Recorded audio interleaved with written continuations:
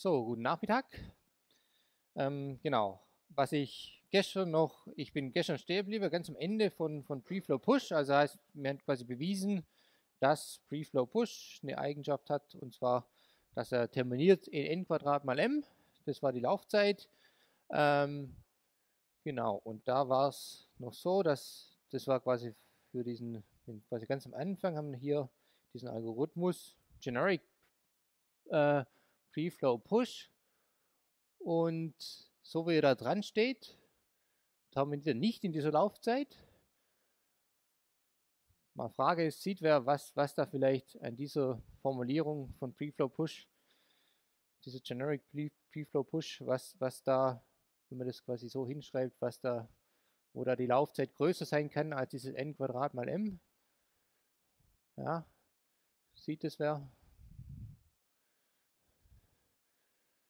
Also wir haben quasi hier, wir haben immer argumentiert über wie viel, wie viel, äh, wie viel Relabels da gibt, haben wir, äh, haben wir argumentiert, ja, da hier dieses Relabel, das war pro, pro aktiven Knoten, ja, kann man irgendwie immer hochzählen. Und dann haben wir da gewusst, ja, dass dieses, haben wir gezeigt, dass es mindestens höchstens dieses Niveau 2, 2n äh, gibt, ja, das heißt, das war n Quadrat, zweimal n Quadrat, was man da quasi immer für die Relabels ausgibt, oder wie viele Relabels man da, da, ausführt. Und dann die zweite Operation, die wir uns angeschaut haben, war das, dieses Push. Und dann haben wir gesagt, okay, ein, ein so, ein so äh, nicht äh, saturierende Pushes und Pushes, nicht saturierend, äh, wenn ich mich da richtig erinnere, nicht saturierend, haben wir das gemacht über diese amortisierte Analyse. Ja, das war n mal n mal äh, n Quadrat mal m.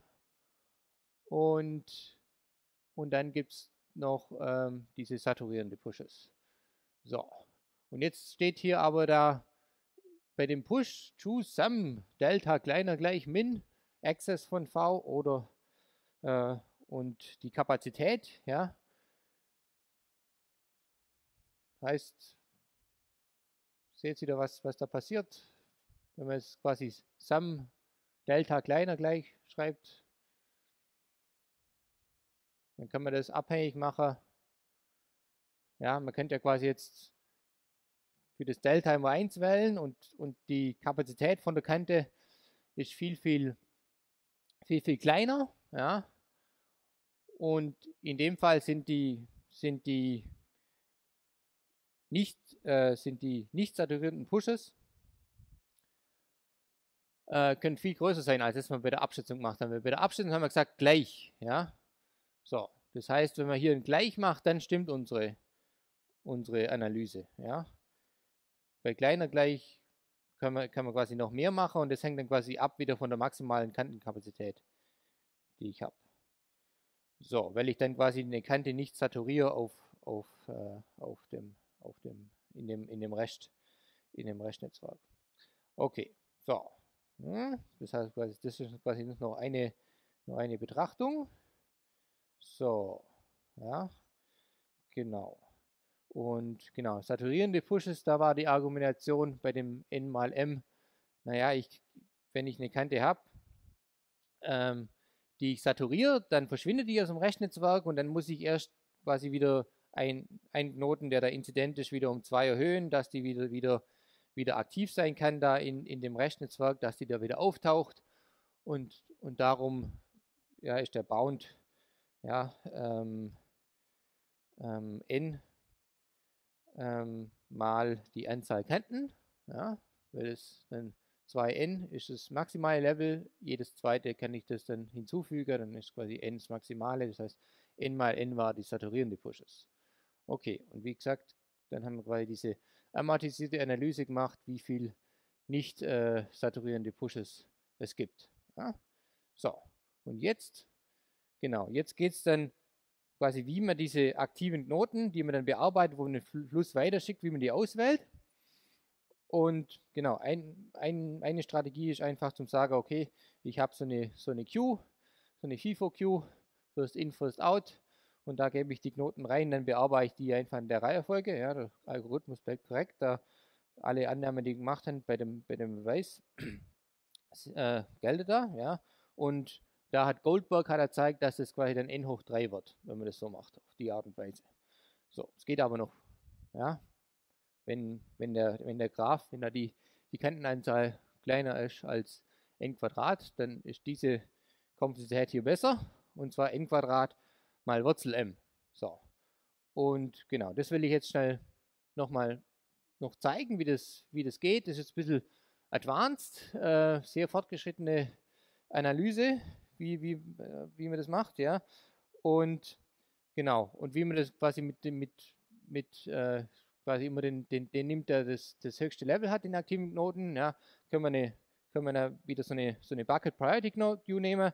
Das heißt, ich habe dann eine Priority Queue, die hat äh, die Größe 2n, ja, und für jeden Wert äh, gibt es ein Bucket, wo ich das Zeug reintun kann. Das heißt, ich kann Insert äh, in konstanter Zeit, wenn ich weiß, in welchem Level ähm, Increase Key auch. Ja, nehme ich das raus aus einer Liste und die, die Liste von, vom, vom nächstgrößeren Bucket rein. Und äh, beim Delete Max, da muss man mal runterscannen, bis man das nächste Maximum findet, also quasi das, das nächste Knoten, äh, höchste Knoten, der aktiv ist. Ähm, und genau, da, da müsste man quasi das amortisiert wieder analysieren. Ja, aber ja, ganz grob ist es so, dass man quasi, wenn man Noten relabelt, ja, setzt man den hoch und dann kann man dann quasi da schon diese, diese Kosten, die man da bei diesem Delete Max hat, kann man dann quasi da schon einzahlen und kriegt beim Delete Max, kann man die wieder abziehen. Ja, so. Okay. Bevor wir jetzt, äh, genau, ich führe jetzt erstmal den Algorithmus aus nach dieser Strategie. Das sieht man jetzt in diesem Beispiel schon, dass man weniger, weniger äh, Push-Operationen braucht. Ja? So, also hier äh, nochmal, dann, in diesem Beispiel ist es auch so, dass weil die andere Optimierungen schon drin sind. Ja, so zähle ich mal schnell. Und zwar in, dem, in diesem generischen Preflow Push, den wir da vorher gehabt haben, naja, da hat man den Fluss gehabt und im, in dem Initialschritt hat man dann quasi über diese Kanten, die inzident sind zu, zu der Quelle, hat man dann erstmal quasi die maximale Kapazität dieser Kanten drüber geschickt. Ja, das ist in dem Fall auch so. Haben wir 10 und 10 als, als Access-Wert.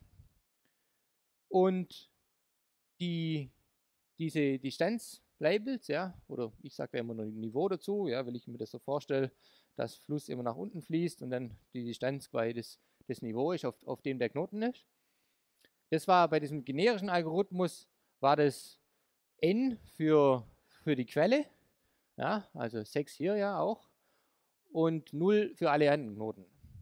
Und naja, dann, dann war es so, dass ich habe dann quasi immer die, die Knoten im ersten Schritt alle immer erstmal relabeln müssen, weil die waren alle auf dem gleichen Niveau und dann kann ich nicht Fluss weiterschicken, weil keine, keine Kante wählbar oder eligible ist.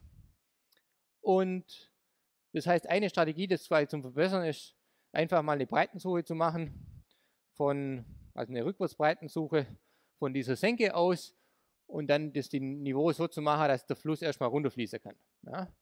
So, das heißt, das ist quasi ein, ein Global Relabeling Schritt und den hat man hier in dem Netzwerk schon gemacht. Okay, ja, also dies, diese, dieses Niveau ist gleich schon angehoben auf so ein, auf so ein State, ähm, der dieser minimalen Distanz von zur Quelle, äh, zur Senke entspricht. Okay, so.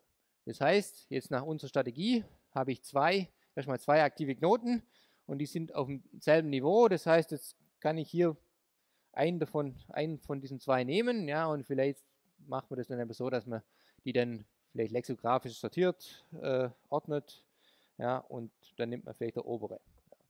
Okay, so. Das heißt, der Fluss, der da, der da drauf war, dieser Access von 10, den schickt man jetzt weiter zu diesem Knoten, ähm, der näher zur, zur Wurzel geht, äh, zur, zur Senke geht. Das heißt, da habe ich dann Access von 10 und den Fluss von 10 drüber geschickt. Und genau, im nächsten Schritt kommt jetzt welcher Knoten dran? Naja, das machen wir jetzt nach Highest Label First. Das heißt, da kommt jetzt nicht dieser Knoten, der, auf dem ihr jetzt gerade diesen, diesen 10er Fluss geschickt habt, sondern dieser Knoten da unten, weil der hat eine, ein Niveau von 2. Okay, und der schickt jetzt ja, diesen, diesen, diesen Fluss, den er hat. Also er hat 10 ein Fluss. Das heißt, er hat quasi einmal eine ausgehende Kante 4 und nochmal 4. Und das heißt, wie haben wir das gemacht? wir sind ja quasi an alle eligible Kanten quasi ausgewählt äh, und dann gehen wir quasi Reihe um von einer eligible Kante zu, zur nächsten. Ja, das heißt, wir schicken erstmal vier über diese, äh, über diese Diagonale und dann nochmal vier über diese horizontale Linie. Ja, und dann bleiben zwei übrig. Das heißt, dieser Knoten ist immer noch aktiv ja, nach dem Ding. So. Und genau, und was man dann quasi als nächstes noch machen kann, das ist quasi eine zweite Optimierung. Eigentlich wäre das Niveau 2. Aber wenn ich jetzt da von diesem Zweierknoten, also von diesem Knoten mit dem Niveau 2 wieder was weiterschicken will und die Knoten im Rechennetzwerk oder die Kanten im Rechennetzwerk ja, äh, zu, diesem, zu diesen zwei, zwei anderen Knoten, wo ich gerade Fluss drüber geschickt habe, die, die existiert nicht, ja, weil da ist keine Restkapazität vorhanden. Das heißt, das einzigste, die einzige Richtung, in der ich das schicken kann, ja, ist diese, diese Quelle zurück. Da ist eine Kapazität von 2 übrig. Oder in dem Fall wäre da, wär da 10, ja, in diesem Fall. Und das heißt, ähm, genau, das wird man dann quasi da, wird man das quasi im, im, im Basisalgorithmus, wird man einfach dieses, dieses, äh, äh, dieses Relabeling aufrufen, bis ich den, den Fluss dann weiterschieben kann. Und das in dem Fall 6 ist quasi der nächst, nächst kleinere Knoten, also Knoten mit nächst kleineren, mit nächst kleineren Höhe. Ja, und das, das heißt, ich kann den, statt, statt den ich, statt dass ich, ich bei da die Differenz mache und dann jedes Mal einzeln hoch inkrementiere, kann ich einfach dieses, dieses, diese Zahl auswählen, eins dazuzählen. Ja, von, von dem kleinsten Niveau, das ich als Nachbar habe im Rechennetzwerk und zähle eins dazu und dann kann ich da das, das abfließen lassen. Ja? Das heißt, es wird es auch in einem Schritt gemacht.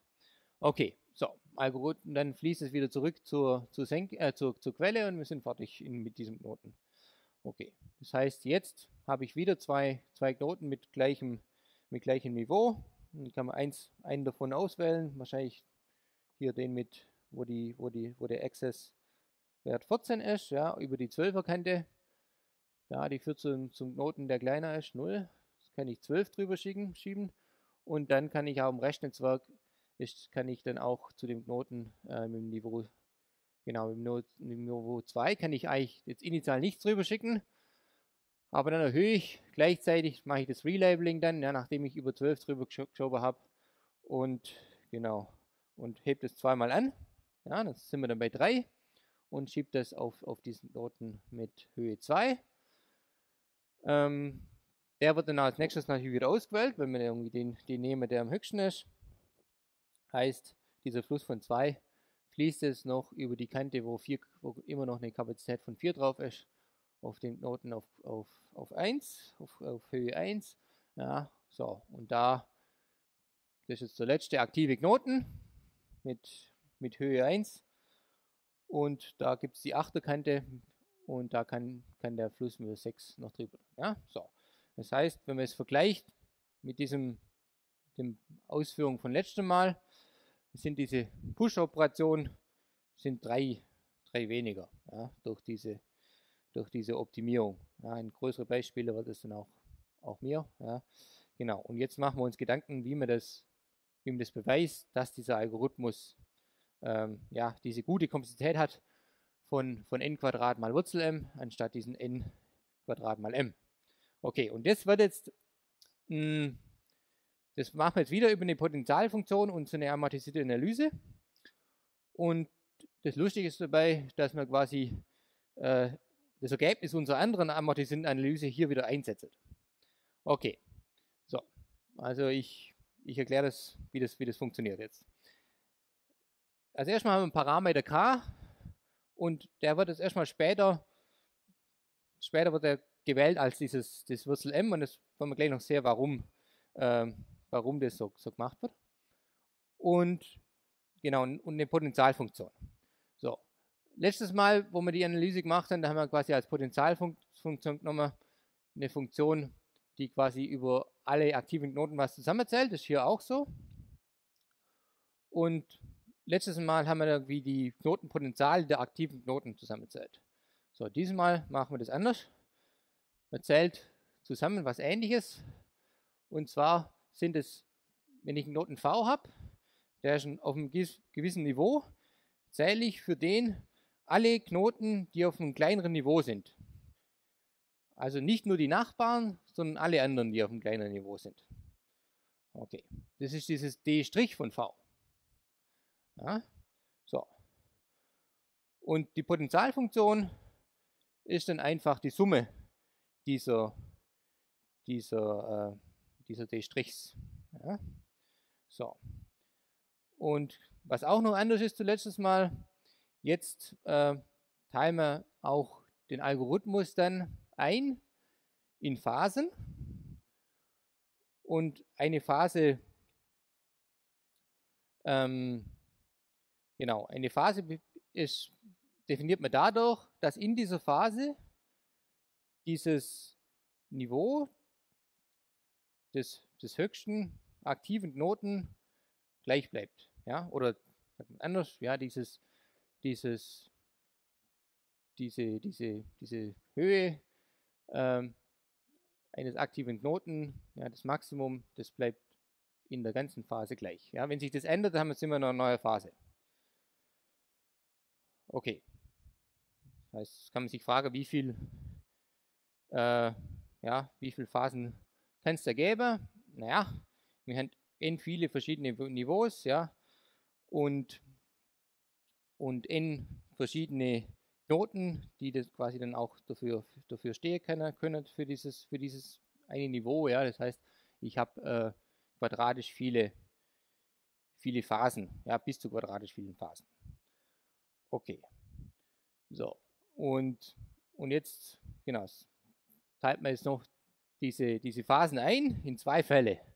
Einmal sind es äh, ja, teure, teure Phasen das sind Phasen, wo es mehr als diese K, diese K-Pushes gibt während dem Algorithmus. Und dann auch einfach ähm, billige Phasen oder günstig, wenn das, wenn es weniger sind als K. Okay, und jetzt kommt quasi erstmal der Überblick, wie die Analyse läuft. Und im Folgenden mache ich dann quasi für jeden Punkt, zeige ich das dann. Ja. So, der erste, die erste Claim ist, ähm, dass ich, ja, und der ist jetzt eigentlich einfach, ja, ich habe äh, ich habe 4n Quadrat mal k nicht saturierende Pushes in allen günstigen Phasen. Ja. Das heißt, ich habe ja vorher schon gesagt, ja, dass ich, dass ich kleiner gleich k habe. Ähm, Ähm, Non-saturierende Pushes, ja. Hier sind es, hier ist, genau. Das heißt, wenn ich, wenn ich sage, das sind, sind kleiner als, als K-Pushes, dann sind es auch kleiner als K nicht saturierende Pushes, ja, weil das umschließt alles. Okay. Dann, ja, und das, wenn man das quasi ausführt, ähm, mit jedem Relabeling ändere ich, ändere ich da dieses, ähm, dieses, dieses Niveau. Ja, das heißt, wenn ich ein Relabeling habe, kann ich da dieses, ähm, dieses äh, D', äh, dieses D-Stern überhaupt ändern. Ja, und das kann ich pro Knoten höchstens n mal machen. Ja, das heißt, ich habe genau das, was wir auch gestern so benutzt haben, ja, diese 2n Quadrat, viele viele, viele äh, Increases. Ja? Also ich mache das dann immer größer beim Relabeling.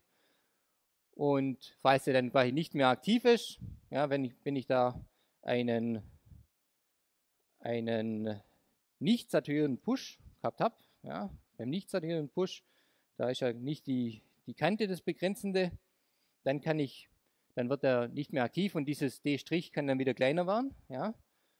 Und das kann natürlich auch nur so oft auftreten, wie, wie, wie oft ich das erhöht habe. Ja. Das heißt, insgesamt sind es, sind es aber quadratisch viele, viele Changes. Ja. Und per Definition habe ich höchstens k Pushes, das heißt, ich habe höchstens k nicht saturierende Pushes. Okay, so, jetzt diese Potentialfunktion, die ist immer positiv oder immer große gleich 0, weil ich zähle ja da über die aktiven Knoten äh, wie viel wie viel es gibt, die, die unterhalb liegen, geteilt durch, durch dieses k. Ja. So, das heißt, es kann nicht negativ werden. Ich zähle immer irgendwas, was existiert. Oder alles ist positiv, was ich zähle. So, und initial, wenn man das diesen generischen anschaut, da hebe ich einmal diese, mein, mein, was hebe ich an? Ich hebe die, die Quelle an, alles andere ist auf Null. Und weil das Dominierende so definiert ist, dass ich sage, das ist größer gleich, also mein, mein Niveau ist größer gleich, das Niveau von diesen anderen Knoten, dominiert jeder Knoten alle anderen Knoten und dann bin ich auch quadratisch. Ja, wenn ich da aufsummiere über alle Knoten, das, daher kommt dieses n Quadrat. Und durch dieses k teile ich. Ja, das steht einfach drin in dieser, in dieser Summe. Ja, das ist Skalierungsfaktor. So. Und genau. Und, genau, und dann, dann sagt man, okay, ein, ein, ein Relabeling oder ein saturierender Push, der erhöht diese Potentialfunktion höchstens um, um, um n durch k. Das ist auch, ja, vielleicht machen wir das hier noch einmal schnell. So. Das heißt, was passiert da, wenn das ein, genau, wenn es ein Relabeling ist, dann, dann erhöhe ich, also sagen wir ein Relabeling von V, Noten V, dann erhöhe ich da mein, mein, mein mein Potenzial, nicht mein Potenzial, meine, meine Höhe um 1. Und was da maximal rauskommen kann, ist, dass ich quasi über, über n minus 1 andere äh, Knoten ich jetzt wieder dominiere und die da in die Summe reinkommen. Ja? So. Das heißt, das, das, das heißt, das ist in dem Fall, ja, erhöht sich dann das und dann ist es kleiner gleich. Also um n minus 1 kann sich höchstens erhöhen, dann ist es auch kleiner gleich als, als n. Ja, und dieses geht halt, halt durch k. Okay, so. Und der, der zweite Fall ist, wenn ich einen, einen saturierenden Push habe. Was passiert da? Ich habe ein saturierender Push, heißt, da ist die, die Kante saturiert. Das heißt, ähm, da kann jetzt, ähm, genau, da kann jetzt dieser, dieser Knoten, auf das das fließt, sagen wir W, der kann aktiv werden. Und wenn er aktiv wird, ja, dann zählt, zählen die dominierenden, die, die, die, die Knoten, die, die dieser W dominiert, auch dazu. Und das kann auch nicht größer sein als n. Ja, das ist eher sowas wie, wie, wie n minus 1. Okay, oben hätte ich quasi statt n minus 1 auch n sagen können, weil, weil er sich selber dominiert. Okay, ja, genau. Aber auf jeden Fall ist es kleiner als n. So, genau. Ähm, das heißt, das ist auch nicht, nicht, nicht besonders, besonders schwierig. Ja? So. Ähm, dann, genau, das nächste, ein nicht saturierender Push ähm, erhöht, erhöht dieses, die, die Potentialfunktion nicht. Ja? So, nicht saturierender Push ähm, heißt, da fließt Fluss über diese über diese Kante und das, das, nicht, das Beschränkende ist nicht die Kantenkapazität oder die Restkapazität auf der Kante. Ja, das heißt, dieser, dieser V, von dem ich das sende, der wird deaktiviert. So, das, das Beste, was jetzt noch, noch, noch, noch vorkommen kann, ist, dass, dass dieser, dieser Knoten W, dass der aktiviert wird. So, weil jetzt aber dieses Niveau kleiner ist von W als V, kommt höchstens d von w dazu. Ja. Das, das heißt, aber ich habe d von v weggenommen. Ja. Das heißt, das Beste, was ich, was ich, was ich machen kann, also es wird auf jeden Fall dann nicht, nicht erhöht, ja, ähm, sondern, sondern im besten Fall bleibt es gleich. Ja. So. Okay. Das ist Fall 4. Und genau. Und Fall, Fall 5 ist, ähm, genau, wenn ich in einer teuren Phase bin. Und das ist eine, eine Phase, wo es, wo es, wo es mehr, also Q äh, nicht saturierende Pushes gibt. Und das sind, sind größer, äh, größer gleich, gleich K. Ja, die billige, die haben wir quasi in, in Punkt 1 abgehandelt. Ähm, genau, dann kann man zeigen, dass, dass die, dieses, äh, diese Potentialfunktion mindestens um, um, Q, um Q abnimmt. Ja? So. Und das heißt, ja, wenn man das erstmal so nimmt, dass, dass ich pro nicht saturierenden Push da äh, um, um 1 erniedrigen kann. Ja? So. Okay.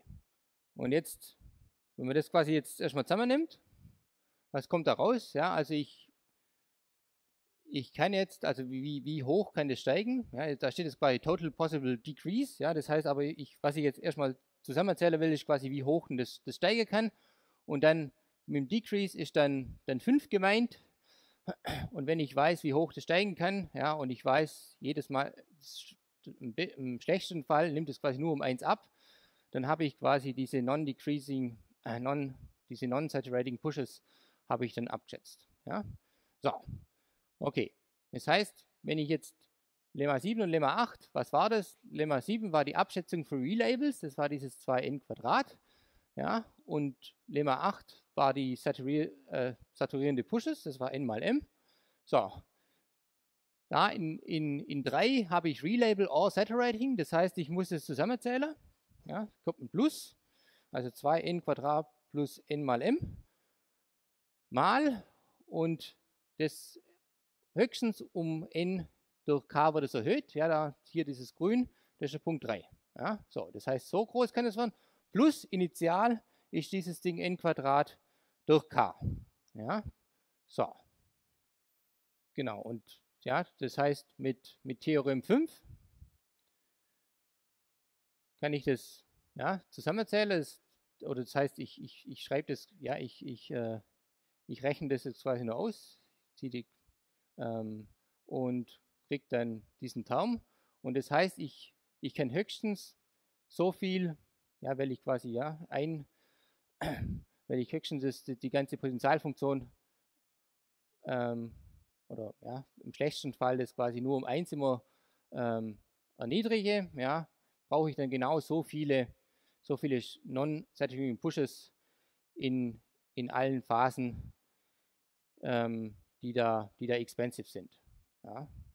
Weil 1 ist, sind quasi diese, diese Non-Expensive äh, Phasen, äh, diese Expensive Phasen. So, ja, das heißt, wenn wir das noch dazu nehmen, Nummer 1, dann zählen wir die noch dazu. Ja, und das sind jetzt 4n Quadrat k. Okay, und jetzt kommt dieses k. Wie wählt man jetzt dieses k? Und das k ist quasi am besten gewählt, weil ich, ich teile da ja einmal durch k und einmal ist, äh, multipliziere ich mich k.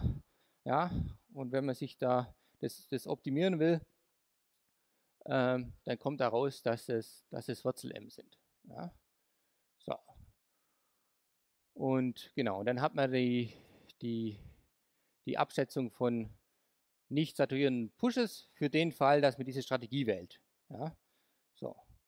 Und das dominiert dann immer noch alles andere. Ja? Und damit, damit haben wir die, die, die Komplexität jetzt noch besser gemacht. Ja?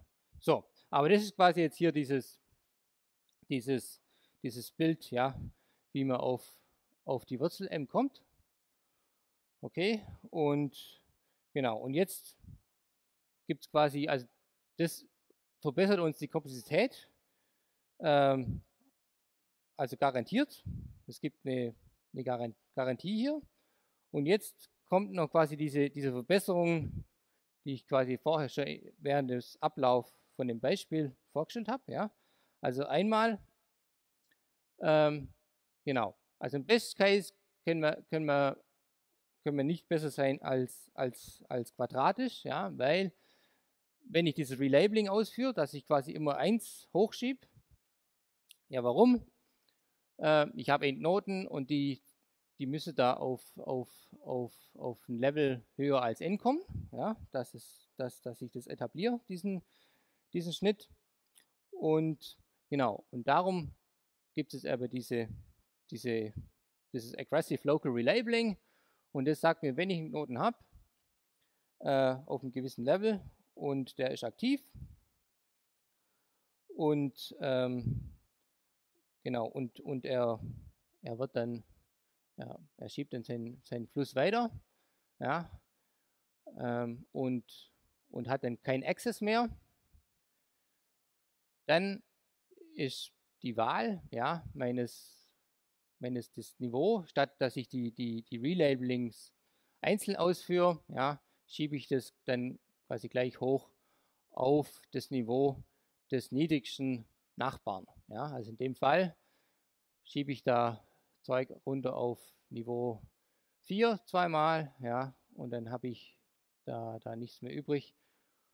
Ähm, ne, da habe ich noch Access übrig, ja, 15. Ich schiebe 10 rüber, dann, dann habe ich da 5 und dann schiebe ich das dann, statt jetzt quasi immer dieses Relabeling einzeln auszuführen, mache ich dann, äh, schiebe ich das dann gleich hoch zur nächsten Kante, die da 7 ist. Ja, das heißt, ich relabel gleich auf 8. Ja, so. Also so spart man sich in der Praxis viele dieser Relabel-Schritte. Die nächste Operation oder Optimierung ist dieses Global Relabeling. Ja, das heißt, wie ich das auch schon vorgeführt habe, man geht von der Senke aus, macht so eine rückwärts BFS und genau und, und gibt dann jedem Knoten als Höhenfunktion diesen, diesen, ja, diese Entfernung oder ja, die, die, wenn ich quasi von jedem, von der, von der Breitensuche aus jedes Mal eins dazu zähle, je länger der Pfad wird, ja, ähm, gebe ich da 1, 1 drauf, ja, sodass dass es immer runterfließen kann. Okay, das Problem ist natürlich, dass das sehr teuer ist. Das hat jedes Mal O von M Schritte. Und um das dann äh, auszugleichen, macht man das einfach jedes, jedes emte Mal. Ja, wenn man da so ein, jede emte Operation und dann ist es amortisiert wieder, wieder O von 1. Okay. Ähm, genau. Und jetzt noch was, noch was anderes ist quasi, wenn ich jetzt so einen so Knoten habe, wo das Niveau größer ist als n oder größer gleich, da kann es ja dann keinen Pfad mehr geben im Rechennetzwerk zu, zu der Senke, sonst hätte ich da so eine Steep Edge da drin in dem Pfad.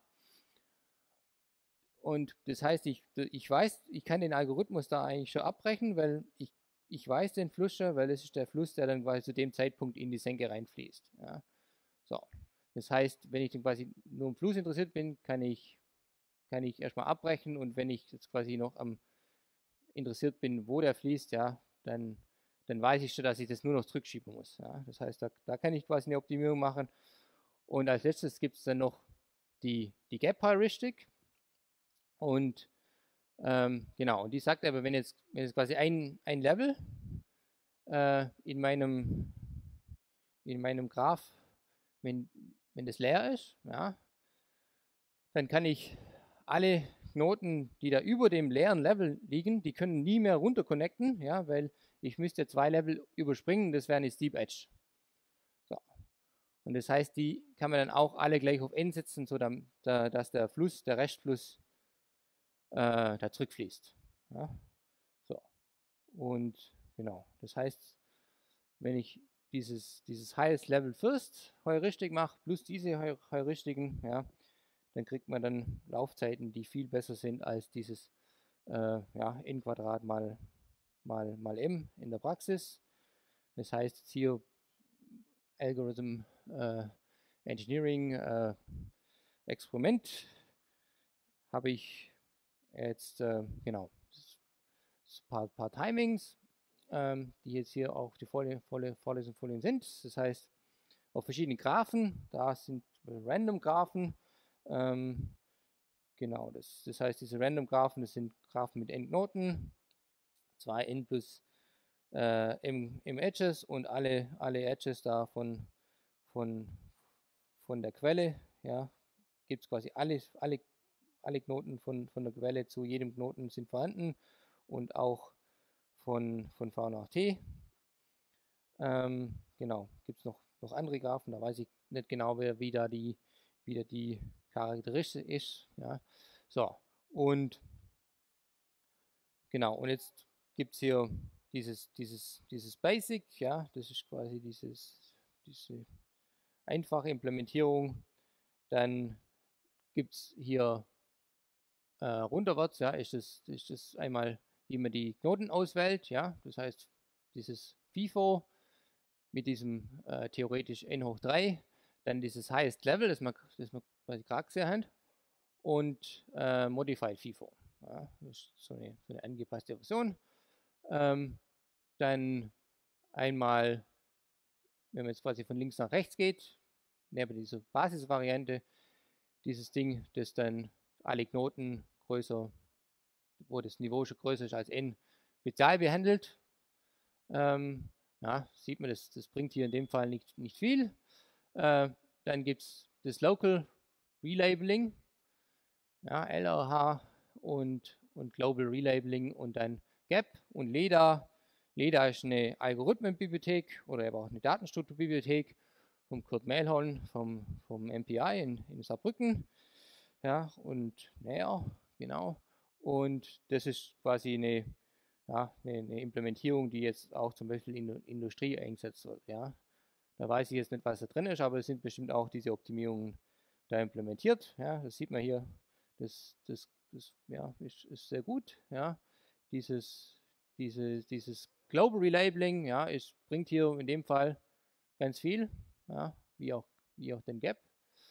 Okay, dann genau, dann gibt es auf andere Graphen, sieht man auch, dass es quasi zu dieser Basisimplementierung, ja, äh, diese Heuristiken äh, viel bringen. Das heißt, je weiter ich da quasi nach ähm, rechts unten gehe, ja, ähm, umso, umso besser ist es. Oder vor allem quasi nach, nach rechts. Ja.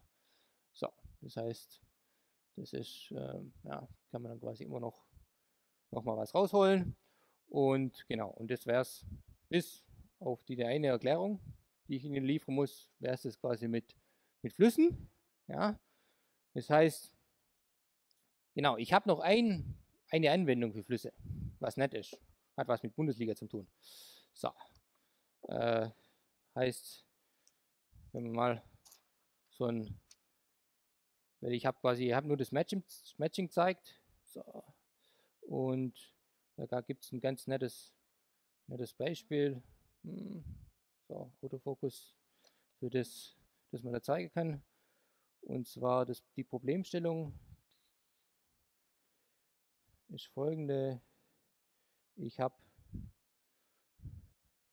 so, ich zeige das vielleicht hier, so, so, ich habe, so, ich habe eine Tabelle, Fußball-Bundesliga, kann auch eine andere Liga sein, so, so, genau, ah, stopp. So, ich habe eine Tabelle, Fußball-Bundesliga von 1964 oder 65. Okay, ich weiß nicht, ob Karlsruhe da noch in der ersten Bundesliga war. Ähm, genau. Und damals sah das so aus, dass 1860 München noch eine Bundesliga war, erstens. Und zweitens 33 Punkte gehabt hat, zwei Spieltage vor Schluss. Und Werder Bremen 37 Punkte, Köln 36, Borussia Dortmund 35. Und jetzt kann man sich die Frage stellen, kann 1860 München zwei Tage vor Schluss noch Meister werden?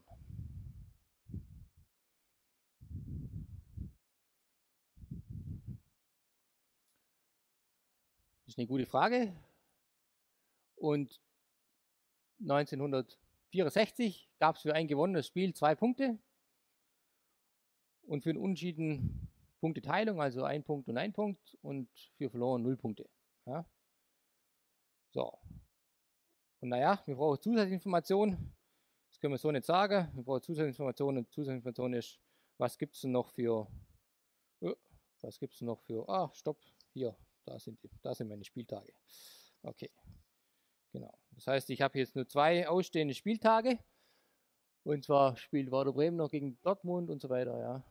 Und und dieses Problem kann man jetzt mit dieser Zwei-Punkte-Regel effizient mit Fluss lösen. dann modellieren wir das mal. Okay, das machen wir jetzt schnell. Ja. Okay, und zwar kann man dann einen Graph konstruieren. So sieht er aus. Okay, und ich, ich erzähle Ihnen, wie man, wie man das macht. Also ich habe, ich bin ja bin in dem Fall, bin ich jetzt 1860 Fan. Das, das heißt, ich gehe davon aus, dass meine Mannschaft natürlich diese zwei Spiele gewinnt. Ja? Das heißt, mein Team hat 37 Punkte. Okay. Und es hat nun 37 Punkte. Wenn es optimal läuft, schieße ich auch so viele Tore, dass meine Tordifferenz immer besser ist als die von, von Werder Bremen. Ja? Wunderbar. Okay. So. Jetzt habe ich das gemacht. Und jetzt konstruieren wir einen Graph. Und der sieht quasi folgendermaßen aus. Er hat natürlich was zu tun mit diesem, mit diesem Ding, das da hier steht. Ja. Das heißt, ich will ja jetzt, dass quasi ein anderes Team nicht mehr Punkte hat als mein Team.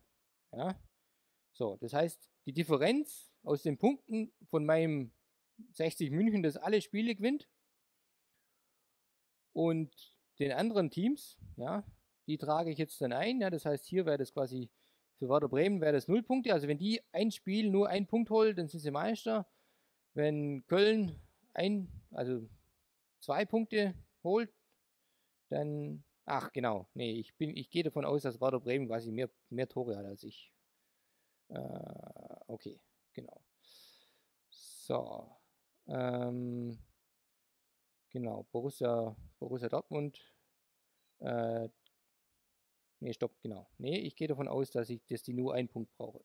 Genau, dass ich mehr Tore habe. Okay, das war schon richtig. Okay. So, München, Borussia Dortmund. Was habe ich da noch?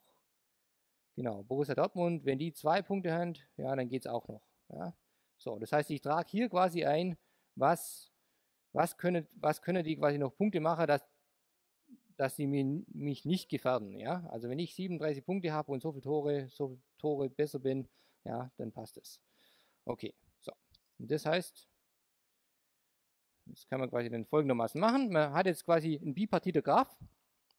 Einmal hat man auf der, auf der rechten Seite die, die Teams und jedes, jedes Team hat einen Knoten und diese Kante, die da, die da zur, zur Senke reingeht, die enthält jetzt die Kapazität. Was die Differenz ist zu meinem Team, das noch Meister werden soll. Ja, so. Und auf der linken Seite habe ich eine Quelle und auch Knoten und die Knoten sind alle ausstehenden Partien. Ja.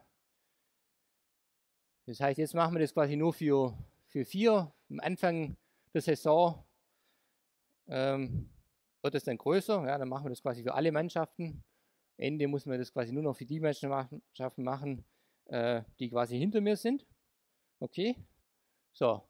Und das heißt, das, das, das Schöne ist jetzt quasi diese Partien. Da geht zwei Punkte rein. Und da können jetzt quasi wieder Punkte abfließen zu diesen, zu diesen ähm, Mannschaften. Ja? So, und was will ich jetzt da finden? Ja, ich, ich, ich will schauen, ob, ob quasi also da geht acht Punkte rein und die acht Punkte, die müssen verteilt werden. Ja? So. Und wenn ich jetzt einen Fluss finde, der da durchgeht, dann wäre meine, dann ist es erfüllt quasi, ja, dass, dass, dass, ich, dass ich Meister war. Ja? So. Weil wenn jetzt da quasi der, der Fluss, den ich durchschnitt kleiner ist, als, als, als das, was ich reinschicke, alle Partien, dann heißt es, dass irgendein Team quasi mehr Punkte krieg, kriegt, ja, als es als, als mein Team. Ja. So. Und was ist, was, genau, das heißt, das können Sie beantworten, ob München 1860 noch Meister werden kann. Ja, hier in der vierten Reihe. Nein, warum? Hier, Genau. Also hier muss quasi darüber fließen, weil da kann nichts abfließen. Okay. Dortmund hat eine Restkapazität. Genau, richtig. Da steht der 0 dran. Also 2 von 2. In den dritten Noten von in welchen? In den? Ja, Genau. Dann, muss. Ja. Genau. da kriegt man nur eins raus. Richtig. Und insgesamt kann man höchstens einen, einen Schnitt kriegen, der äh, genau, der 7 ist, ja, und nicht 8. Ja, genau. So, das heißt, mit Fluss können wir jetzt beantworten, dies, dass äh, es gibt keinen Fluss hier, der 8, der 8 ist. Ja. So. Und das heißt, 1860 München kann nicht Meister werden. Okay, so. Das heißt, ja. Und das finde ich doch äh, ja, eine Anwendung von, von Flüssen. Genau, das illustriert hier diese viele Anwendungen, ja, auch im Fußball. Ähm, übrigens, wenn man jetzt quasi das auf, das die schlechte Nachricht ist, wenn man das hier auf drei Punkte Regel macht, dann kann man das nicht so schön mit Fluss modellieren, äh, weil dann, dann kann ja was verloren gehen. Ich schicke drei rein und dann beim Unentschieden kommen quasi dann nur zwei raus und so. Das heißt, wenn man das wirklich auf mit drei Punkte Regel macht, dann ist es ein NP vollständiges Problem. Ja, so. Das heißt, äh, leider nicht hier. Und das, aber wir können quasi so, so dieses Spezialproblem können wir, können wir mit diesem lösen. Ja, so. Äh, ja, diese, diese, diese Analyse, ja, mit dieser amortisierten Analyse, die dann wieder die amortisierte Analyse vom, vom, vom Vorergebnis nimmt, äh, ja, ist ziemlich, ziemlich nicht trivial. Ähm, genau. Und da hat man auch sehr, sehr schön gesehen, dass man mit, mit äh, ja, so Heuristiken und Argument Engineering und, ähm, das, das schön verbessern kann. Ja? Äh, genau. Und Datenstrukturen, das haben wir jetzt quasi nicht so im Detail gemacht, ja, aber da können wir für diese, ich habe das erwähnt, ja, das Goldberg-Tarjan, wenn man dieses äh, beim Algorithmus, ja, bei der Berechnung von dem Rechennetzwerk, das kann man auch alles mit dynamischen Datenstrukturen machen. Ähm, und genau, dann, dann wird es in Theorie besser, da in der, in der Praxis sieht es eher mau aus, ja, aber genau, das ist ein, ein, äh, ja, ein so ein, so ein Fall, wo, wo auf jeden Fall, ja, diese Bucket Queues, äh, die sind auf jeden Fall äh, hier auch quasi anwesend und kann man, kann man gut gebrauchen für, für diese, für die letzte Optimierung. Okay, genau. Das heißt, das war jetzt quasi alles der Fluss. Also wiederhole ich, wir haben Ford Falkson haben wir erstmal gemacht. Dann Edmund Karp Strategie und, und DINIC. Bei DINIC kam dazu, dass man bei dem Rechennetzwerk äh, so ein so speziell ein, ein Subgraph ausgewählt, diesen Layered, Layered Graph und auf dem dann diesen Blocking Flow berechnet hat. Ja, das heißt, das heißt, alle diese drei Methoden sind da mit diesen, mit diesen Erweiterungspfaden dann haben wir gesehen, okay, wenn man diese Erweiterungspfade nimmt, das, das ist schlecht, wenn es da irgendwie Graphen gibt, wo Pfade, wo, es Pfade gibt, wo eine ho hohe Kapazität, wo ich quasi jedes Mal wieder drüber muss, um, um den Erweiterungspfad zu bestimmen. Und genau, und dann, dann sind wir quasi zu diesem Push-to-Relabel gekommen und dieser Push-Relabel, der arbeitet eben äh, anders, der nutzt auch so eine, so eine Höhenfunktion, ähm, ja, was da vorher bei DINITS quasi ja auch schon die Standsfunktion äh, gegeben war. Das heißt, ist auch ein bisschen ähnlich. Ja. Und dann sind wir dann also von Initial von Fort Falkenson, was abhängig war von der Kapazität des, des Flusses, ja, m mal m mal die Kapazität, äh, die, die, die, den Fluss, ja, für m mal Erweiterungspfad äh, oder für Erweiterungspfad suchen, immer dieses O von m, sind wir dann über DINIC ja, oder fort, äh, dieses erstmal Edmund Kaup, der das m Quadrat äh, mal n sind wir dann von bei Dienig nach äh, zu, zu n Quadrat mal m kommen. Ja, haben wir das quasi Quadrat nur anders angebracht und hier mit, mit Push Relabel und dieser Highest Level First Operation äh, oder Strategie sind wir dann von, von n Quadrat mal m auf n Quadrat Wurzel m. Ja, so. Und dann mit diesen Heuristiken ist es in der Praxis sogar noch, da, quasi noch, noch viel, viel besser, als diese Worst-Case-Komplexität vermuten lässt. Okay. So. Und genau, das heißt, das, und da machen wir nächste Woche noch zu dem Preflow Push, dann nochmal eine Übung. Und genau, und dann fahre ich jetzt fort äh, mit einer anderen Kategorie von Algorithmen. Und das ist dann quasi das, das letzte Kapitel. und das sind externe Algorithmen. Ja? Externe Algorithmen sind, ja, sind wichtig, wenn es quasi große Datenmengen gibt und weil da ist es so, da geht man jetzt quasi von einem anderen Modell aus. Ähm, das heißt, ich, ich, ich, ja, ich habe irgendwie einen, einen, großen Speicher und dieser, dieser große Speicher, ja, das ist quasi auf Platte oder auf Band.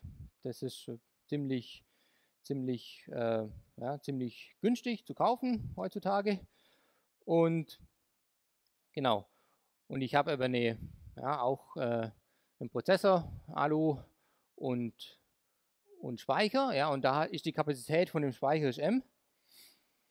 Äh, und ist sehr klein, sehr viel kleiner als dieses, als dieses, äh, als dieser, dieser große Speicher, den ich da habe. Und ich habe, ich kann quasi äh, B-Worte, wenn ich da einen Zugriff machen will auf die Platte, ja, also wenn man das auf so einer traditionellen Festplatte, ja, da hat man ja, ist es ja auf so, äh, ja, auf, auf einer Platte gespeichert, da muss man erstmal den Lesekopf, muss man erstmal positionieren und so weiter. Und dann kann man dann so ein, so ein Teil, äh, so ein Sektor lesen, ja. Das heißt, das, dieser, dieser, dieser Access, äh, der ist ziemlich teuer, ja. Also es, das kostet vielleicht äh, ja, so 10, 10 Millisekunden oder vielleicht auch nur eine Millisekunde, aber ist ziemlich teuer. Und und da transferiere ich dann B-Worte. Ja, so. Und das, das Ziel, und wenn ich jetzt quasi das, das im Speicher habe, dann ist diese interne Arbeit, die nimmt man erstmal an, die ist kostenlos. Ja? Da kann man quasi also ja, viel, viel Zeug berechnen. Und was man, was man aber dann minimieren will, sind einfach die, die Blockzugriffe. Ja? So. Und das, das, das einfachste Beispiel jetzt für einen externen Algorithmus das ist jetzt einfach, äh, wenn ich jetzt einen Pfeil habe, ja, das heißt, und ich will den, will den lesen und ich will da irgendwas annotieren, zum Beispiel, dann ist das der sogenannte Scan, ja, und Scan ist der, äh, ist der erste Algorithmus, den wir hier dann nehmen. So, das heißt, so, genau, das heißt, die erste Operation äh, ist Scan und da habe ich jetzt einfach einen Pfeil, sind wir ein A, der Länge, der Länge N. So. Und naja, wenn ich, wenn ich da einen Scan, der macht nichts anderes, als einfach durch diesen Pfeil durchzulaufen. Ja, das heißt, ich gehe von und das mache ich dann jetzt, jetzt blockweise. Ja, das heißt, ah, stopp, da muss ich hier aufrunden. So, das heißt von 1 durch n durch b. b ist diese, diese Blockgröße. Und dann mache ich einfach so ein Load, Load Block.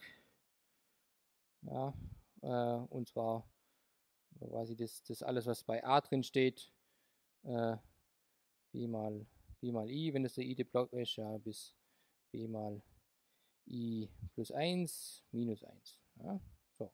Und dann, dann können wir quasi jetzt in Memory, können wir jetzt quasi Scan, Scan Block machen, ja. Und das ist, ja, das ist quasi in, in Memory. So. Okay. Und dann ist es klar, dass wenn ich bei einfach durch einen File zu scannen, ja, das ist quasi das einfachste, was es gibt, ja, ist einfach die Größe dieses Files geteilt durch B IOs. Ja. So. Das ist erstmal trivial. Ja. So. Und was ich jetzt, was jetzt dann quasi, also da gibt es quasi kein, kein irgendwie wahlfreier Zugriff, was ich machen will, aber das sind die meiste Anwendungen will man einfach äh, so ein, ja, oder unstrukturiert, unstrukturierter Zugriff. Ja. Das heißt, wenn ich jetzt ein komplexeres Beispiel mache, dann, dann wird es ein bisschen ja, komplex, kom, äh, komplex, oh, stopp, genau, komplexeres Beispiel. So, und da schreibe ich erstmal erstmal diesen, diesen In-Memory-Algorithmus hin. Ja, also ich, ich sage, ich habe jetzt drei Arrays, A, B und C. Und jetzt, was ich eigentlich machen will, ist, ich will die, den, den Array ähm, C will ich umsortieren in Array A. So, genau. das heißt, meine Anwendung wird nur dieses hier machen. Ich, ich sage AI ist gleich B von CI. Okay, ich, das heißt, ich ordne jetzt B um. Ja, so, ich ordne B um und zwar nach CI. Und jetzt können wir vielleicht annehmen, dass das äh, Permutationen sind, diese drei Arrays, ja. Und naja, dann ist es, ist es aber so, dass, dass ich da bis zu linear viele, viele IOs haben kann. Ja. Kann man sich dann einfach irgendwie Beispiele konstruieren, dass, dass zum Beispiel dieses, äh, dieses in diesem C, ja, also wenn ich irgendwie hier mein, mein, mein B habe, ja, dann kann ich das C aber so konstruieren, dass ich erstmal auf den ersten Block zeige und dann hier auf den zweiten Block und dann auf den dritten Block und so weiter, ja, und dann die nächste Zeiger zeige dann wieder hier auf das nächste Element hier und so weiter. Ja, das heißt, ich glaube, das ist offensichtlich, dass man dann äh, für dieses, für dieses, ähm, ja, das, die, die Array so wählen kann, dass, dass man, wenn man das hier einfach ausführt, dass man n viele, viele IOs macht, ja. Und das Ziel bei externen Algorithmen ist man immer, dass man so eine Komplexität hat, die quasi diese In-Memory-Komplexität durch dieses B teilt. Ja. Das ist, und das ist quasi auch, auch das Beste, ja, was man da erreichen kann. Okay, so. Und jetzt gebe ich mal eine Lösung an für, für das Problem, ähm, das viel besser ist. Und das kann ich mit sogenannten Sort und Scan. Mit Sort und Scans kann ich das lösen. Ja, so. Und genau, wie funktioniert das? Das heißt, ich scanne erstmal durch C durch und ja, Scan C ist, ist das erste, was ich hier mache. Und das wird jetzt und wenn ich, genau, wenn, während ich das kenne, ja, ich sage sag jetzt einfach mal, es ist irgendwie, mach mal ein paar Beispiele, ich habe irgendwie vielleicht ein C von 1, steht vielleicht, steht vielleicht 8 drin, ja, und dann mache ich jetzt, generiere ich Tupels, ja, und das auch, ja, in, in, in viele dieser externen Algorithmen, ja, macht man das, dass man hier seine Daten erstmal anreichert mit, mit zusätzlichen Daten, ja, und dieser, dieses Tupel besteht aber aus dem Wert, der da drin steht, in diesem C-Array, und dann auch zusätzlich noch der Index. Ja, so. Das heißt, vielleicht habe ich hier 2 und dann habe ich hier, das ist der Index 3. Ja, also das ist immer allgemein heißt es aber, ich habe hier irgendwie C von I und dann I. Ja, so. Und genau, der zweite Schritt ist, ich sortiere jetzt sort äh, first component C. So, das heißt, ich, ich nehme jetzt quasi diesen, diesen neuen Array, den ich da, den ich da gekriegt habe, und sortiere nach der ersten Komponente, ja, und kriege ich jetzt, ich weiß nicht, vielleicht steht dann quasi das, was ein Index 17 hat, vielleicht 1 gehabt, ja, und dann steht dann 17 auch in der zweiten Komponente, ja, das heißt, ich permutiere hier einmal durch, äh, genau, bei 3, da steht die 2 und dann steht hier die 3 und so weiter, ja, so. Okay. So. Okay, jetzt genau, haben wir so, so umpromotiert, dass ich jetzt, äh, dass das C jetzt so Zugriffe war kann, dass, dass das hier in, in, in Ordnung ist, die schön ist, ja, weil jetzt sind ja die Zugriffe, wenn ich hier, wenn ich hier den Zugriff mache, dann greife ich B sequenziell zu. Okay. So. Und naja, jetzt kann man das quasi vereinen. Schon drei. Das heißt, das machen wir parallel. Scan äh, von B und C. Ja. So, das heißt, sieht man das noch? Ja. So, das heißt, ich, ich, ich scanne jetzt B in der, in der Ordnung, ja, das heißt, da, da kommt jetzt gerade B von B von 1 ist das jetzt gerade. Dieses, ja, weil hier ist ja dieses, dieses 1 entspricht ja, ja vielleicht schreibe ich das hier nochmal hin. Äh, genau, dieses, jetzt habe ich ja was, wo dran steht B von, von C von I und I. Ja. So. Okay. Ja. So. Das heißt B von B von 2, C dann 3 und so weiter. So. B von 3 und 9. So. Und jetzt fällt quasi nur noch ein Schritt. So, dass ich Okay, das ist ein bisschen unscharf. So. Hm. Okay. So. Es fällt quasi nur noch ein Schritt und zwar, ich will das ja quasi jetzt in, in der in der Ordnung ähm, von, von diesem ähm, genau, von, von, von diesem von, von, also ich will das ja A zuweisen, das heißt, ich muss das nach, nach diesem I sortieren. Ja? Das heißt, ich mache jetzt nochmal Sort, Second äh, Component. So, und dann kriege ich sowas wie B von C von 1, 1, B von C von 2, 2, ja, und so weiter. Ja, das heißt, und das entspricht ja quasi gerade a von 1, a von 2 und so weiter. Ja, so. Und das heißt, was man jetzt für eine Komplexität hat für dieses Ding, also i aus. Ähm, genau, also einmal haben wir quasi hier einen, einen Scan gemacht, äh, dann nochmal einen Scan. Das heißt, wenn wir das hier ähm, aufschreibt, dann sind es aber dann n durch, durch b für Scan. Ja. So machen wir ein O, weil es sind ja dann 2 oder 3, die, die Konstante. Und jetzt kommt aber die Komplexität noch dran von Sort und, und Sort. Und das, das war dann als nächstes zeige. Ja, das, sind, das, das geht in n, n durch b, ja, das ist schon mal gut mal Logarithmus m, ja, m war der, die Speichergröße, b war diese, dieses, dieser, dieser Block, dieser, wie groß der Block ist vom Transfer, n durch b i aus. Ja, also das ist quasi die, das ist Sort, Sort Complexity. Ja.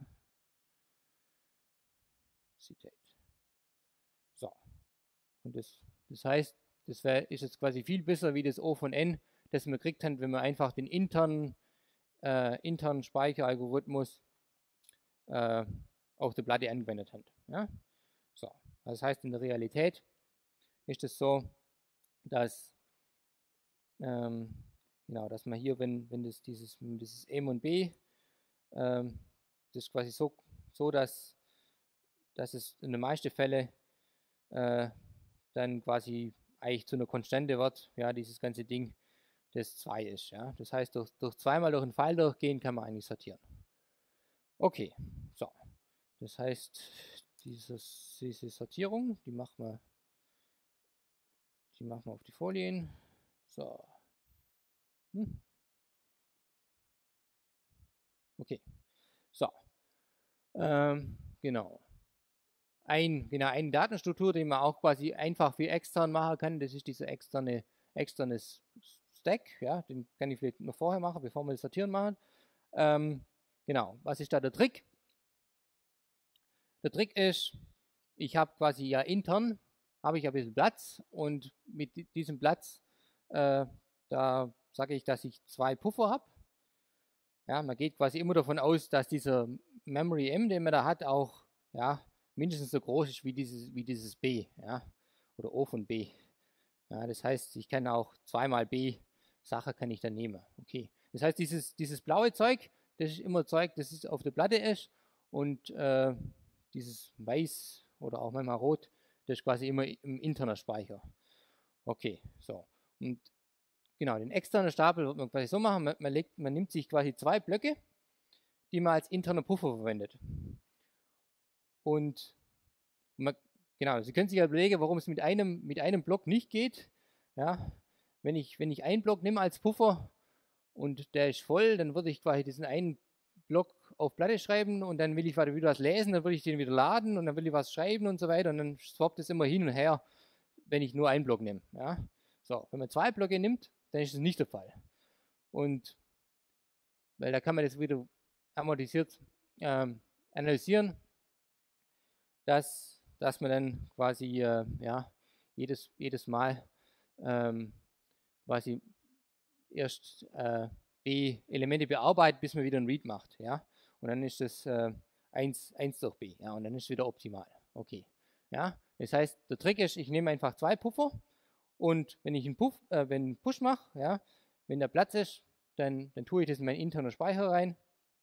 Und wenn jetzt quasi meine zwei Blöcke voll sind, ähm, dann flasche ich den, den letzten Block auf, auf die Platte, schreibe ich den, ja, und, und, und ja, tausche dann diese, diese zwei Blöcke aus und ähm, genau, und schreibe dann quasi drüber über, über das, über das was, was in dem, dem Block, den ich gerade auf Platte geschrieben habe, ähm, äh, drin war. Ja, okay, und beim Pop äh, genau, schaut man auch, ob der, ob der noch voll war, ja, ob, ob, quasi, ob, da, ob da was im Puffer drin ist.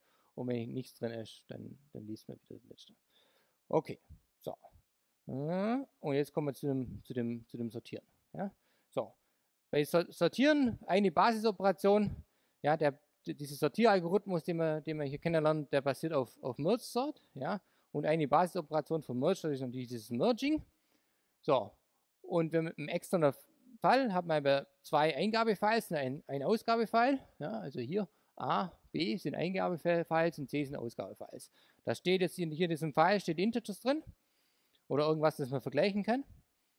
Okay. Und ja, initial äh, liest man einfach die Elemente, dem, genau, in dem, dem Fall geht man jetzt quasi auch davon aus, dass einfach das letzte Element, also wenn der Pfeil leer ist, um da Sonderfallbehandlung zu umgehen, sagt man einfach, okay, das ist unendlich.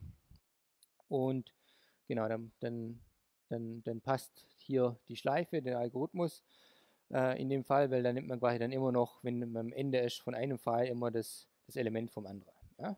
So, das heißt, von 1 bis zur Länge, kombinierten Länge dieser Files, gehe ich durch und wenn jetzt ein Element kleiner ist, dann nehme ich, dann, dann, dann nehme ich das und schreibe das erst ähm, in diesen in, in diesen Ausgabefile. Ja?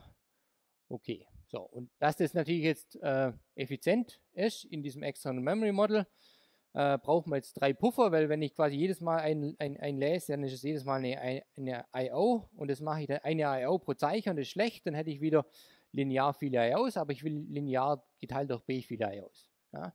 Das heißt, ich habe aber hier äh, drei Puffer, ja, zwei, ein jeweils für, für jeden Stream und Genau, und wenn der Puffer leer ist, dann lade ich wieder B neue Elemente. Ja, so, das heißt, das ist diese, diese Basisoperation. Dann habe ich, dann lese ich aber zweimal ähm, von, von A, das heißt, ich habe A geteilt, Länge von A geteilt durch B, viele aus, aufgerundet und Länge von B geteilt durch Groß B, viele aus und für das C auch. Ja, das heißt, ich habe, wenn man es analysiert, natürlich äh, drei, genau, von der Gesamtlänge her habe ich natürlich dann nur zweimal so viel, ja, das heißt, ich, ich schreibe einmal und einmal lese ich. Und die plus drei, äh, genau, die kommen noch von, dem, von diesem Aufrunder, aber die können wir auch, auch weglassen, ja, dann kann man sagen, okay, ungefähr zweimal die Ausgabegröße, okay, und Bedingung, dass man diese Blöcke braucht. Okay, so. Jetzt am Anfang von dem Algorithmus sortieren, ähm, teilt man einfach den, den Eingabefile auf in Blöcke der Größe M, weil die können wir einfach laden. Oder das ist der interne Memory. Ja? So, das heißt, ich, ich lade die, die Blöcke. So. Und in dem Speicher mache ich dann einen Sort. Irgendwas Normales, ja, n log n zum Beispiel. Ähm, und ja, und das nennt man einfach dann Run Formation. Ja? Also man macht dann quasi wie viele Runs macht man da? Ja, man macht n, n geteilt durch m viele, also n geteilt durch groß m viele Runs. Und I aus, ja, kostet das ja nur so viel, wie ich brauche zum Lesen. Und das ist, äh, das ist ein, ein Scan, ja, da drüber. Und dann muss ich das einmal noch schreiben. Okay. genau, das heißt, F ist die Eingabe und T ist dann einfach dieser Pfeil, wo dann diese alle Elemente, die in, die, die in einem so einem, so einem Block sind, der Größe M, dass diese schon sortiert sind. Okay. Ja, also das ist jetzt nichts besonders kompliziertes. So, der nächste Schritt, ja, beim Merger ist es Zeug zu mergen. Und das, unser erster Ansatz hier ist einfach, dass man hier mal binär, äh, binär das, das merged. Ja. So. Okay, und dann können wir, die, können wir das, hier oben ist ein Beispiel, ja, da habe ich irgendwie äh, einen Text und dann sortiere ich erstmal die Buchstaben lexikografisch, äh, erstmal blockweise äh, und jetzt, äh, und dann, dann, dann kommt diese Merge-Phase. Okay, das heißt, IOs, erstmal diese Run-Formation, habe ich einfach den, die 2n geteilt durch m, ja, einmal schreiben, einmal lesen, n durch b, so, und während es quasi noch mehr gibt als, als ein, äh, als ein, äh, als ein Run, ja, kombiniere ich das. So, und dieses Kombinieren, das haben wir gesehen, das kostet 2n durch b pro, pro Level, was ich da mache, ja, und weil ich jetzt äh, einen Ausgangsgrad habe, ja, von, von, ah genau, weil ich jetzt quasi das, ich habe n geteilt durch, durch m viele, viele Runs am Anfang, ja, und ich, ich mache das immer binär, das heißt hier, dieser Logarithmus ist ja ein Zweier-Logarithmus. Okay. Und das heißt, so oft mache ich dieses, dieses Merging mit diesen zwei n durch b viel, viel, vielen Sachen, ja, und dann kriege ich insgesamt, wenn man das zusammenzählt, ja, dieses plus 1 ist für das Run Formation, 2n geteilt durch b mal 1 plus log n durch m. Ja. Okay, und wenn man das sich in der, in der Praxis anschaut, das ist jetzt ein Zahlenbeispiel äh, des, vom, vom, vom Benchmark. Okay, was ist da die Eingabe? Die Eingabe sind da ein halbes Terabyte, ja, oder also ein halbes Tera an, an genau, ein halbes Terabyte, ja. Gigabyte wäre 2 hoch 30, Terabyte 2 hoch 40 und 2 hoch 39 ist ein halbes Terabyte. So, dann M, das heißt, das, das äh, ist der Größe meines internen Speichers, sind 8 Gigabyte.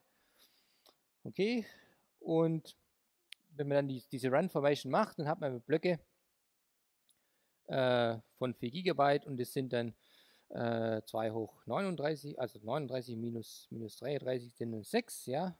Also mit der Logarithmus ist, steht dann 6 da und dann steht dann 1 plus 6 sind 7. Das heißt, man macht da 7, 7 Durchläufe und genau, n durch, n durch b setzen wir hier auch noch ein. Ähm, dann sind das genau 2 hoch 17 und wenn man das dann ausrechnet, kommt man dann äh, auf genau 2 hoch minus 4. Das ist die Zugriffszeit. Okay, dann ist quasi eine Zehntel Millisekunde mit der Platte. Und genau, wenn, wenn die Zugriffszeit so, so lang braucht, das ist eher eine SSD, dann sind wir bei 32 Stunden, für, um, das, um ein halbes Terabyte zu, zu, zu sortieren. Okay, und das ist, das ist besser, wie, wie wenn man das einfach einen internen Algorithmus auf, auf diesen externen Daten rumlaufen lässt, ja, weil da machen wir noch viel mehr Blockzugriffe, aber noch nicht optimal.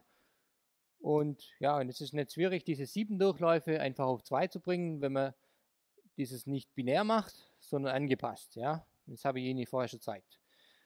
So, und die, die Hauptidee dabei ist, dass man jetzt quasi bei dem bei dem Merge das nicht mehr quasi zwei Sachen merged, sondern K-Sachen merged.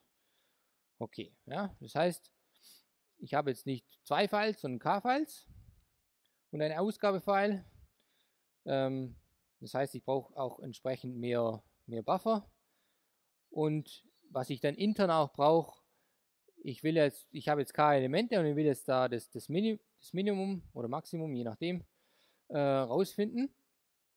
Und naja, da haben wir jetzt ein Datenstrukturen gehabt, wie zum Beispiel äh, Priority Queues oder Heaps und da steht es auch dran, ja, das macht mir dann nichts. Ich, weil wenn das K kleiner ist als mein M, dann, dann kann ich das intern, intern halten.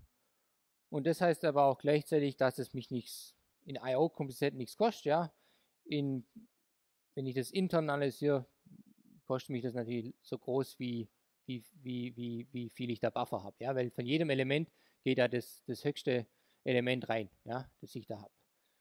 Okay, ja, und die, genau, die, die Input-Files, die sind dann hier auch vorher schon sortiert.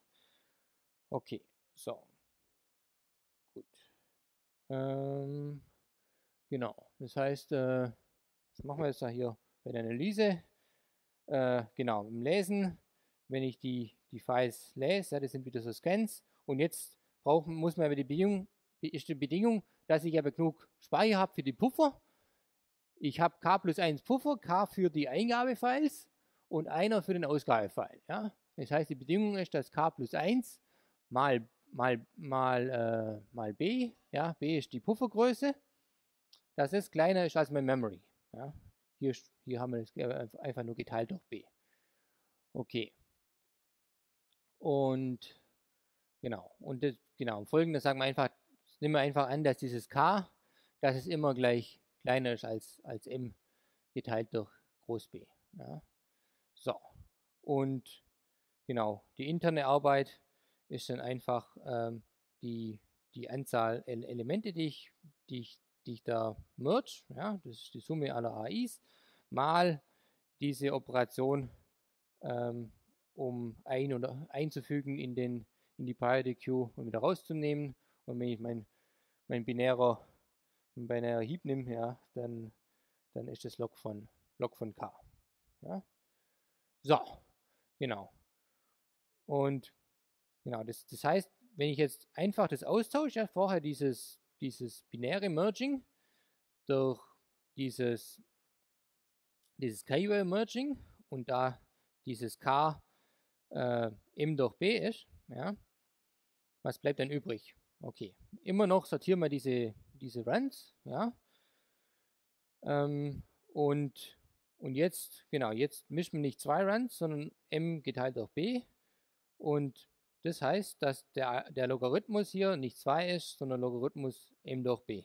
Ja, so. Das heißt, diese IOs, die reduziert sich jetzt auf 2n geteilt durch b, 1 für die Run Formation plus äh, diese, diese ähm, Anzahl an, an, Levels, ja, und das in der Praxis dann, dann 2. Okay. Hm, wie sieht es aus mit, mit interner Arbeit? Okay, ähm, genau, Run Formation, das war quasi für, für jeden Run der Länge, äh, für, jeden, für jeden Block der Länge m, war das eine Komplexität von m log m. Okay, und das sind wie viele? Ja, n durch m, und dann n durch m mal m log m sind n mal log m. Okay. Ähm, genau, dann haben wir hier noch äh, die, die, genau, dieses, dieses, dieses Merging, ähm, da ich, genau, da haben wir dieses n mal, äh, ja, also jedes Element wird da, ge, wird da quasi aus, dieses, aus dieser Breite genommen. Das heißt, ich habe da log k und log k war ja kleiner als m geteilt durch m, ja, und dann die Anzahl von Phasen. Und wenn ich jetzt, da habe ich dann log zur Basis m, m geteilt durch b und dann habe ich hier log 2 von m durch b, ja, und das heißt mit Logarithmengesetz, ja, gehe ich, ist es genau dann gleich n mal der normale Logarithmus, ja, von n durch m. Und genau, und das heißt, das, das erste, mh, hm, genau, das, wenn ich da das, das m weglasse, setze ich das nach oben ab, das heißt, es ist auf jeden Fall in O von, O von n log n. Genau, so, genau, und wenn man jetzt quasi das in der Realität anschaut, wie das ist, wie viel, wie viel Phase man da macht für, die, für dieses Mischen. Und ich habe das, ich habe das äh, äh, gestern nochmal nachgerechnet äh, mit, aktuell, mit aktuellen Preisen für Hauptspeicher und Festplatte. Ja, also ich habe geschaut, eine 8 Terabyte Festplatte gibt es für 200 Euro und ein 8 Gigabyte Riegel wie war das? 8 GB Regel. Weiß es wer? Ich glaube 100 Euro oder so. Ähm, genau. Bin ich da gestern, komme auf, auf eine Ratio von 500. Ja. So. Und genau, auf jeden Fall ist es so, dass dieses M durch B quasi so groß ist, ja, dass es quasi aus wirtschaftlicher Sicht immer, wirtschaftlicher Sicht immer bei 2 bleibt mit diesem, also der, der, die Basis ist ja immer so groß, dass, dass die Anzahl Phasen ja auf lange zwei, Zeit 2 bleiben wird bei diesem externen, externen Sortieren. Ja? Das heißt, externes Sortieren sind quasi zwei Scans ja, mit, mit, mit interner Arbeit. Ja? Das ist das, das, die Hauptbotschaft. Ja? Und das ist auch, ja, gibt es Lower Bounds äh, von Agraval und Witter mit Konstante und aber auch obere, obere Schranke. Und das kann man natürlich jetzt auch parallel machen auf, auf D-Platten, ja, wenn wenn wenn man die Daten verteilt hat. Und genau, dann, dann hat man den, äh, äh, genau, hat man das unter dem Bruchstern und dann heißt, je mehr Platten ich habe, umso das skaliert dann linear. Okay, wobei bei das letzte äh, Ergebnis ähm, ja nicht, nicht ist. Okay, so. Äh, genau, jetzt gibt es noch äh, diese externen Prioritätslisten, die mache ich jetzt nicht, die kommen dann quasi vielleicht nächste Woche noch dran. Äh, genau, so ist auch, genau, das quasi nur, genau, das ist so ein bisschen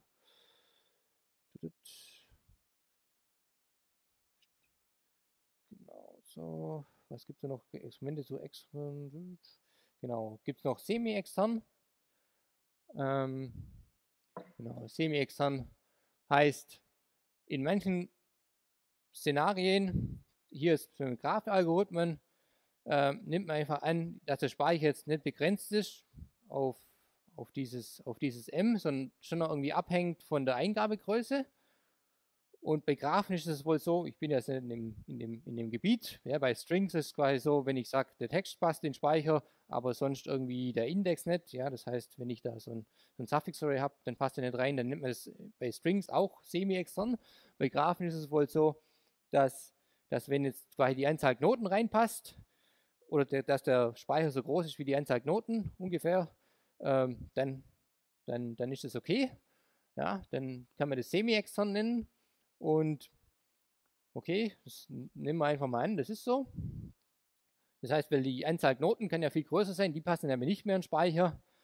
Und jetzt kann man dann einen semi-externen Algorithmus machen, indem man sagt, okay, ich sortiere jetzt mal alle Knoten extern, weil die passt ja nicht rein, nach, nach Gewicht. Ja, und dann kann man den Rest von Gruskal, ja, der schaut dann immer, ob, ob, ob, ob so eine Kante diesen Spannbaum dann einen Zyklus bildet mit der Union-Find-Datenstruktur und die ist ja nur so groß wie Anzahl Knoten, das heißt, die kann man quasi im internen Speicher belassen und genau, und dann hat man einen semi-externen Algorithmus. Ja. So, genau.